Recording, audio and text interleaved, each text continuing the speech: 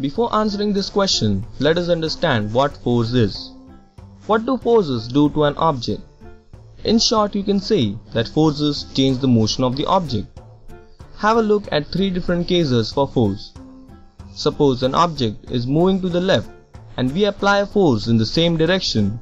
In this case, the object will speed up. If we apply force in the opposite direction to the velocity of the object, the object will slow down. Take a case when the force is applied perpendicular to the velocity of the object. Let us call this a sideway force. If only a sideway force is applied to an object, the object will neither speed up nor it will slow down.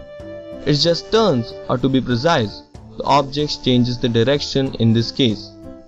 Here's an example. Take a ball at the end of a string. Swing the ball around in a circle. Why does it move this way?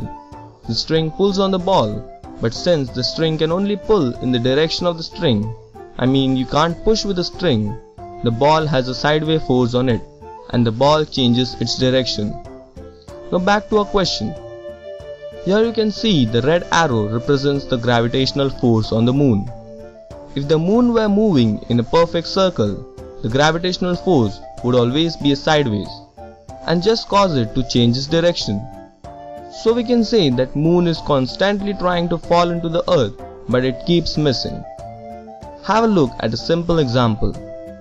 Imagine you are standing at the edge of a cliff 100 meter tall. If you drop a rock off, it will fall straight down. If you throw the rock harder, it goes further. If you could throw the rock hard enough, the earth would curve away from underneath the rock so much that the rock actually never gets any closer to the ground. It goes all the way around in a circle and might hit you in the back of the head. This is an orbit.